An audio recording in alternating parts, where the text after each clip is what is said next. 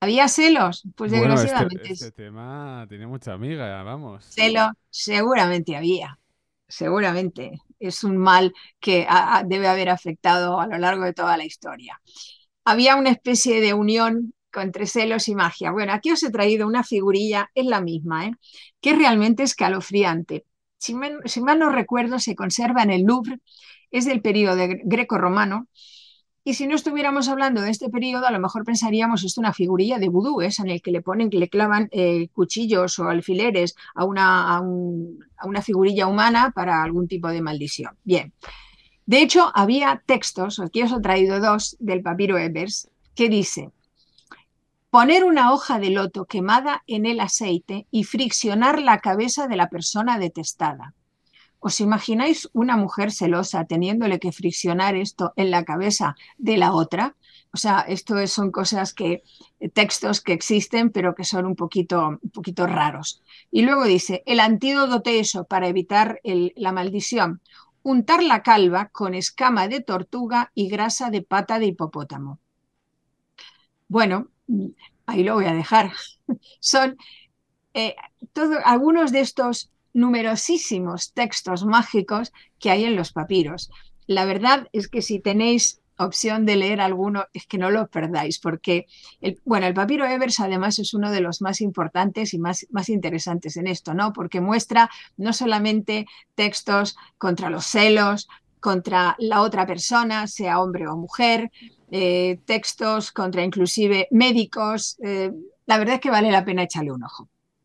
Bueno, vamos a dejar Que, los celos. que- nos que no mal, que no mal de ojo, jajaja. Ya me Que no estos mal de ojo. malísimos que... Sí, realmente. Espérate que me voy al siguiente, al siguiente bloque. Ay, que no me corre esto. ¿Qué ha pasado? Espera, a ver. Se ha quedado estancado. Ahora, quedado ahí. Sí. adulterio. Y adulterio. Bueno, el adulterio era una pena muy grave. Era una pena eh, motivo de divorcio, por supuesto, y además es algo que debió ocurrir mucho, según nos cuentan los textos de, hallados de Irel Medina. El eh, versículo, hay un versículo del libro de los muertos que dice, no he cometido adulterio. Es decir, eh, ya es un motivo de defensa antes de llegar a la pesada del corazón, ya lo que está diciendo es, no he cometido adulterio.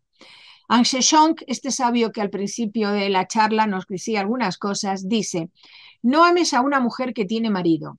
Quien ama a una mujer que tiene marido será matado en su umbral. De hecho, bueno, hay una de las tantas historias de Deir el Medina, que es como, es como si uno leyera el Ola en Deir el Medina, eh, que cuenta que hubo un problema entre una mujer que no le fue fiel al marido, eh, que se lió con un tal Paneb muy conocido en Deir el Medina y que entonces uno mató al otro precisamente en el umbral de su casa. Bueno, es una historia macabea que ahora mismo, que es, no sabemos si es cierta, pero que se ha encontrado el texto sí es cierto. ¿eh?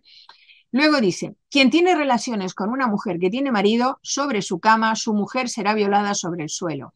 Bueno, esto es un poco un tema ya también algo violento, pero que no sabemos si pudo ocurrir. Pero ya en época tardía hay alguien que aconseja a algún sabio que es un poquito más práctico y dice, si encuentras a tu mujer con un amante, toma una joven para consolarte. Este ya era más, más práctico y más pragmático. Vamos a ver, eh, hay muchos textos de problemas causados precisamente eh, por la poca fidelidad o la infidelidad dentro de lo que era el, el ámbito de la sociedad egipcia. Eh, las penas eran muy fuertes, eran, por ejemplo, cortar la nariz, cortar las orejas, tanto a la mujer como al hombre, había bastonazos para el hombre, eh, la culpable casi siempre era la mujer, como no. Eh, hay muchos textos que dicen la importancia que se le daba al adulterio, es decir, si no te va bien con el marido, divórciate, pero no la líes. Esto es poco científico, pero es más o menos el resumen de este tema.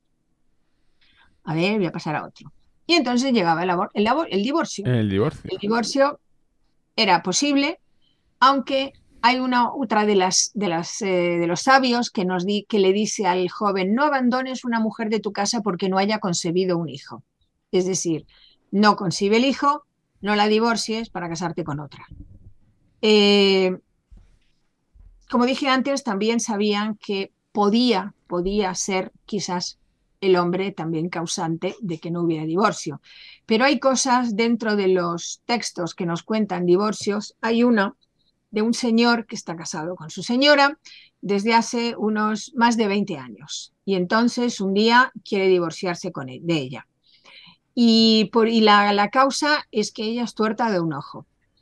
Eh, la respuesta de ella es que cómo es posible que después de tantos años de casamiento nos haya dado cuenta de que siempre ha sido tuerta de un ojo. Es decir, nos muestran estas cosas que son, por un lado, trágicas, porque nos están mostrando cosas de divorcio, cosas de sinsabores, pero por otro lado resultan hasta cómicas, ¿no? Bueno, pues eso es lo que nos dicen también los papiros. Eh, para divorciarse, parece ser que simplemente el marido tenía que decirle me divorcio de ti, pero ojo, había, eh, había temas que no sé si lo he puesto en la siguiente. A ver. Bueno, sí, sí. Había reparto de bienes.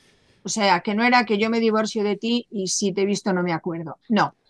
La mujer, en este caso, recuperaba el regalo para la esposa, lo recordáis lo que aportaba el hombre, el dinero para ser esposa, su dote, los bienes personales de la esposa, lo que se hubiera adquirido a lo largo del matrimonio.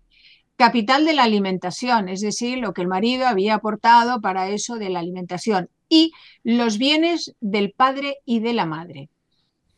Eh, no solamente parte de lo que fuera su propia herencia, es decir, la mujer podía recibir su herencia y eso era siempre suyo, aunque parece ser que eh, podía eh, recibir parte del patrimonio del esposo. O sea que no convenía mucho divorciarse porque se podía quedar, si había niños, inclusive con la casa. No salía cuenta. No traería cuenta. No salía cuenta, ¿no? No. Y en caso de fallecimiento también se hacía reparto de bienes. Los bienes pasaban a los hijos, pero a la mujer le correspondía un tercio. En caso de que falleciera la mujer, los bienes pertenecían dos tercios al marido y el resto a los, a los niños. Es decir, que había reparto de, de bienes, si es que lo sabía. Tampoco podía haber mucho, pero bueno, a verlos, lo sabía. Ahí los. Pasemos de bloque.